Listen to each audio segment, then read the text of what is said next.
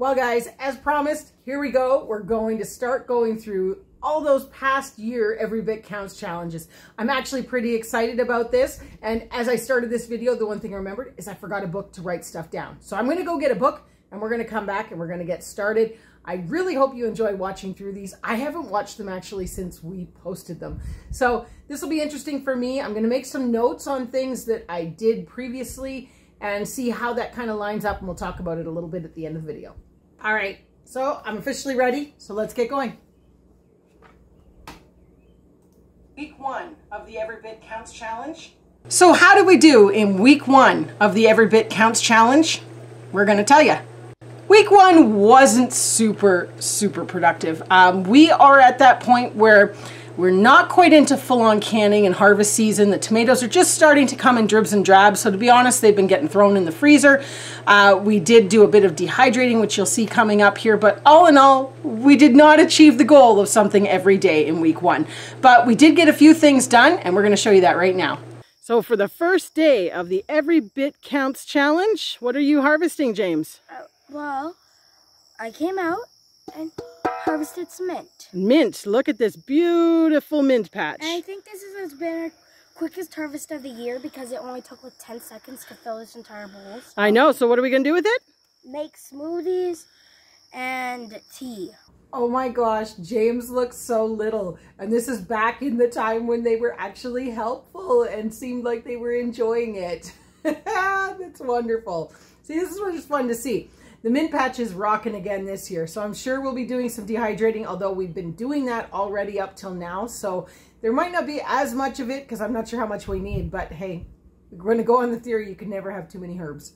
And here we have our big bowl of mint, all dehydrated. You can hear it crunchy. Just going to break that up. And it's going to get put in there to fill up our jar. Now, I'm thinking my jar might not be big enough, but mint is a great thing to put away for teas in the middle of winter or any evening, to be honest. And uh, we also, as you know, use a lot of lamb here, which does require a lot of mint. Day one, August 1st, one full one liter jar of dehydrated mint. And now Next on the list for this week, we are making our pickled turnips. This is too funny watching this. I'm actually about to put into a video for uh, Just Can It, making these turnip pickles. They are so wonderful. It's something that we do every year. It's like the only way we use turnips. And here it is. I love this. So we're actually a little bit early on a few things this year, it would seem. Because like I said, we've already put a lot of mint away. And now I'm doing the uh, turnip pickles this week as opposed to two weeks from now. So that's kind of interesting. I'm really curious as to what we're going to be working on this year because everything seems so out of whack in the garden. We'll put the link to the video above in case anybody's interested in trying this recipe. It's an amazing way to use your turnips. Day two, four more jars, one liter in size, of fermented pickled turnip.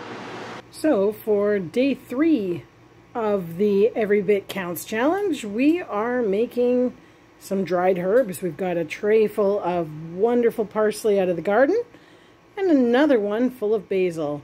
These are going to come in very handy in the middle of the winter season and also later on in canning season. So for day four of our Every Bit Counts challenge in week one, we are freezing and packaging up. We've got some kohlrabi here that's frozen that we're now por portioning, or not really portioning, but putting into a Ziploc container. We don't do vacuum sealed portions. We don't blanch. We just chop up and put on a tray. It works great. Oh my goodness, guys.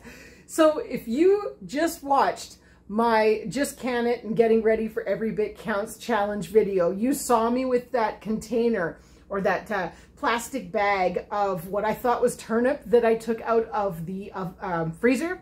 It had been in there for a while, not labeled, had no idea. Thought it was turnip. We dehydrated it and it's now in a jar. It was kohlrabi.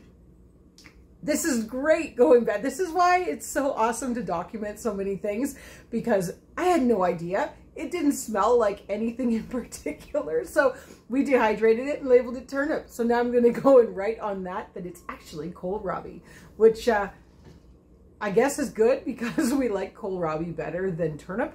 But that's an interesting little tidbit. That is really funny that we just discussed that and dehydrated it in the last video, and here it is here. Uh, the nice thing is we can just reach into this bag and pull out a handful as we need it. So that works awesome. So that's part of our preserving for the winter. And another thing that we're going to be working on is fruit. So we ended up with one full large freezer bag of kohlrabi. Uh, we also ate quite a bit, but this is great for storing for winter use. And we're going to get some more planted for our fall crops. But next to go on this tray, we have blueberries. So again, we just flash freeze these so that we can put them into bags and grab them out. Uh, most of this will probably go to jams and uh, blueberry applesauce, that sort of thing for over the winter time. Again, I'm coming back to this and saying it's very interesting because we are two weeks ahead. We are already harvesting our blueberries. I think by August, there's not going to be anything left. And here we were picking these blueberries and freezing them at the beginning of August. So again, what are we going to be doing in August? Because everything's so weird. But it's interesting to be making some notes of things that we did do and what I kind of want to focus on. So far, nothing's really come up in this video that I'm going to be focusing on too much more than I usually do, but there's still more to come. For right now, because we don't have the apples ready from the orchard, we're going to just get these frozen and into bags to use up later. The blueberry patch is producing like wild this year. First time, we're on year three now, and the blueberries are pouring in. We still have more to go, but this is a great start. So as you can see, that's as far as we managed to get in week one. Now I can already tell you because we're actually filming this partway through week two because hey, we are behind as usual. But week two is going a lot better, so stay tuned for uh, that video to come, hopefully more in a timely manner. Uh, but we're not disappointed.